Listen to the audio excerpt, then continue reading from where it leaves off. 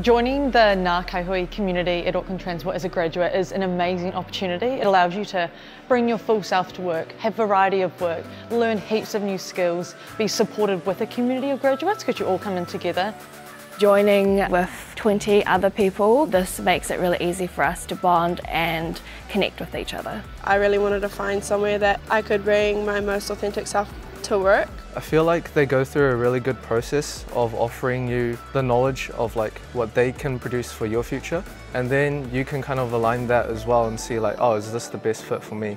A really cool part about the Ngā Kaihoe program is that the GPA hurdle is removed. So AT focuses now on a values-based assessment to make a connection with employees based on values. It's all about your attitude, what you believe in. Every single person I've met here is like really passionate and really aligned with the values of AT and, and what we're trying to achieve. You come into the department that your degree is, so I'm an HR grad, but I have the opportunity to move around as much as I want. When I came out of university, I didn't really know what I wanted to do, so the graduate program has been able to help me find out what I'm good at. I've got a history background, an arts degree, and this is a transport organisation, so people often raise their eyebrows. What you learn in university is so different to the workforce and the projects you do.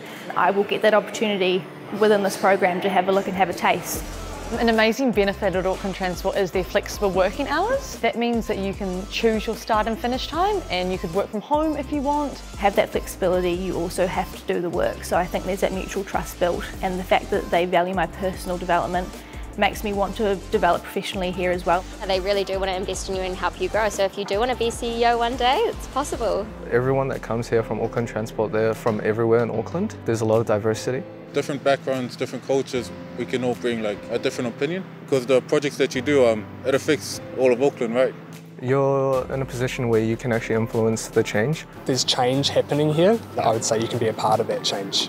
The work that you do, you're just going to see benefiting the community, Tāmaki Makaurau, the rest of New Zealand. So if this sounds like you and you want to join the Ngā Kaihoe community, check out our careers page, give us an email.